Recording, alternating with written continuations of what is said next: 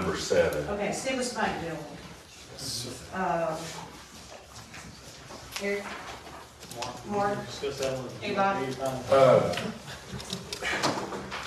The reason I had it put on the agenda is, and this, of course, I've got it on the list for ARPA funds. Uh, But we need to, we need to kind of move forward with this. There, as Thread Bank is actually the owner now, we've got Civis Building on here. But, you know, this is, this is a business proposition. I don't wanna leave them hanging. And they've offered us the building, they've offered us the first shot at the building. Uh, I don't know if they have other buyers lined up or not, but I would, I would personally prefer not to let that thing drag on and on. We need to talk about making a decision on that.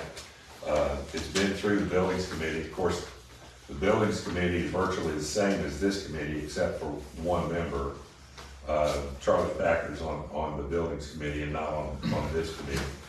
But some discussion, some direction as to how, uh, how we need to move forward on that from this committee is kind of what I was looking for.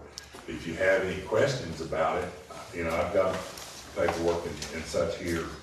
Uh, it's a five acre, five point one eight acre tract of land, uh, value of, uh, tax appraisal value is one point oh six two million dollars, and they've got it listed for six fifty-five. They're offering it to us for five eighty-five. And we just need discussion in some sort of direction, some sort of feeling from the committee. So it's not to get too deep into the operations of it, but I think it does speak to the needs of, of the building over the Church Hill Center. Um, this, there's the building that you were talking about that was being used by a lot of people driving through, having drive-through access. With the, and down here, with, with this new building and the Civis building, it would have the same drive-through It, it access. does have a drive-through, I think it has two or three lanes possibly. Um, according to Mr. Prophet, the first or second time that I went up there to look at the building, I think they're all operational too. The, because the access to the Church Hill building, I think, is the biggest problem that we face in that, in that facility. And there is the, I mean, with where the office is, with the location of the slope of the, the lane, you really do have to jump out of the car to, to get to that. And so I think that the, one of the biggest things that this building can offer and kind of to the committee is that we're, we're providing the same services to the other end of the county as well for that, because this, if we're continuing to make the investment, we're essentially just adding on to Church Hill's building that we're not owning, that's going to cost more in improvements than we're paid for this building. It, you know, with the land and the things that come with it, I mean, I almost feel like it, it makes more sense to, to, let's move forward with it because of the, the fact of our facilities will be increased to, to make more of the ADA standards, and we're not gonna continue to make the investment into a building that ultimately we don't own. Uh, Do we have any idea what the cost of renovations will be, Mark? And it, um, and we know there will be some, I would imagine there will be. And where would we plan to get that money from? The only immediate renovation that would need to be made, and, uh, Commissioner Kern's been there, uh, Commissioner Maddox has been there, Chad's been there, who else? Sheriff's been there. The, the, uh, the entryway carpet needs to come up and be replaced with something that doesn't get soiled and nasty like it is. Uh, and to start out, we could clean the carpet as far as that goes. That's the only immediate renovation I saw to the everything else is functional. Uh, it, it definitely helps the sheriff's department with an outside entrance. Uh, It helps uh, Nancy's office with a drive-through. Uh, And like Commissioner Gibson said, it, it gets us out of paying for a building that, paying for repairs and maintenance on a building that we don't own. Uh, If, if you've been, if you've not been to the city county building in Church Hill, you really need to go. The ADA parking is sloped, uh, when, when, uh, Sarah and I went up there one day, she couldn't hardly get out of the car, basically. You had to hold the door Yeah, so I could get out of the car, because the door kept trying to shut. and, and there's, you know, we could, we could get bids on flattening that out, but as Commissioner Kern said at the other night, the other morning's meeting, the road is here, the parking is here, and I don't know how you're gonna flatten that out with the, and not do something with the road. Um, That's, to me, if we try and attempt that, that's well into the six figures and, and, you know, probably two or three hundred thousand dollars. We've got a thirty thousand dollar roof, is that right, Sarah?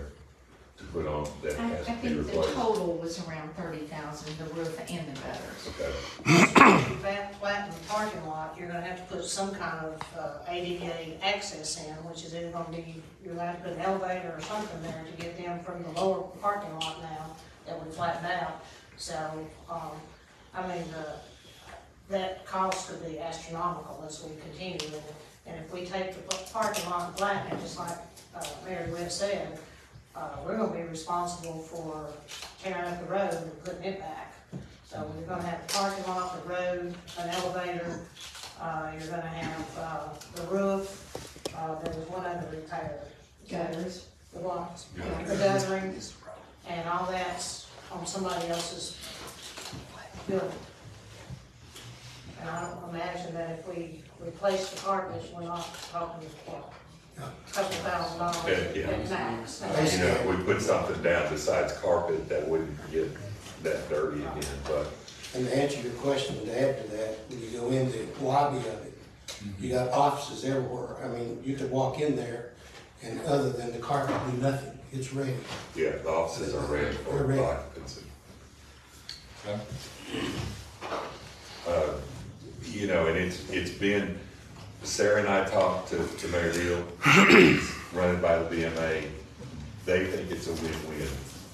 Uh, They would be able to put a handicap do- access door on the bottom floor, and their offices are down there. They wouldn't have to have an elevator. Uh, They, they've run it through BMA, and BMA is hundred percent behind it, from what I understand. Uh, and it's, it's basically a win-win, and like I said, I can't tell y'all what to do, but I do, would like to have it move forward somehow, or, or, you know, something to tell them at Thread Bank as to how we're, how we're thinking. The other thing we need to think about, uh, there's got to be patient of Mr. Crawford's retirement Friday. So that's gonna take a local out of it, and that may take this bid off the table if we don't move it. I mean, I'm just speculating that.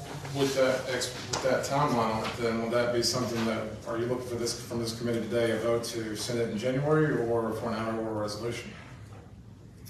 I'll send it to January, I would imagine. What I was thinking, the job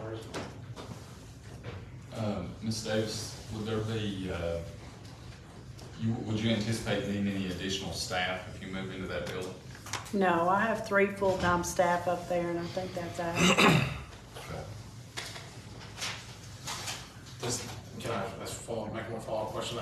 Would that building increase your ability to offer services over the building that you're at, that you're in right now? Oh, yes, and, you know, I think the accessibility with that building up there, I mean, you can't compare it to where we are now.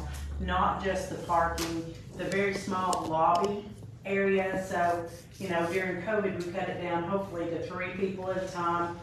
And three people at a time in there is really all should have ever been in there.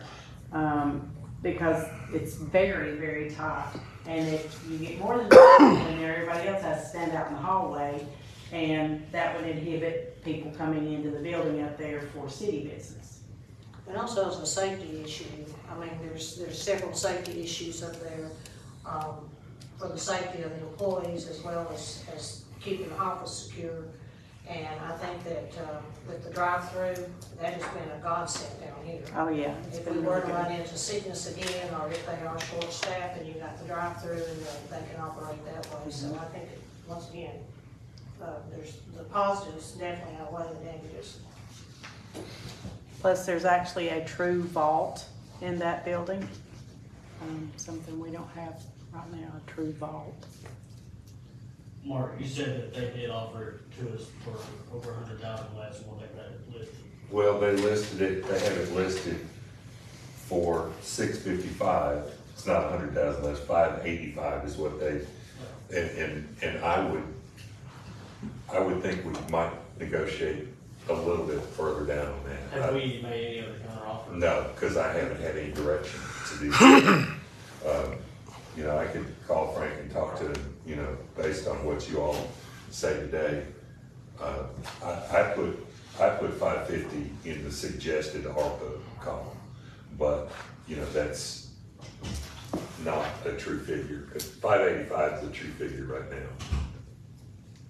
I said we made an offer for five fifty. You making that motion? Yes, I'll second that. Five fifty? yeah. It's a counter offer. Excuse me. Five fifty and Would would you go into a minute to allow the mayor to negotiate to five sixty? yes, Just to give you, make the offer to five fifty with pre-authorization to negotiate up to five sixty? Okay, and then whatever the figure ends up being, we'll put it on the January resolution. Okay. That work? I got a first, I got a second, do I have any more discussion? Sarah, make sure that that is noted that way, that, um, when In- negotiating. an offer at five fifty would give the mayor option to negotiate up to five sixty. And the money's gonna be from the ARPA money Yes. that was gonna be funded. And if Frank's watching this online, then Your, uh, he he already knows. your bargaining power is affected by that. Yes, right. That's the trouble with democracy, I guess. Nobody tell until I call him. I don't want, I don't want government red tape to, to lose this opportunity. Yes. Oh. Okay, will you go ahead and roll call, please? I will. Robbie Palmer, Yes. Tom Kern, Yes, Danny Alvis, Yes. Joshua Gillum, Yes. Nancy Barker, Yes. John Gibson. Yes. Mr. Chairman, we have six yes, motion carries.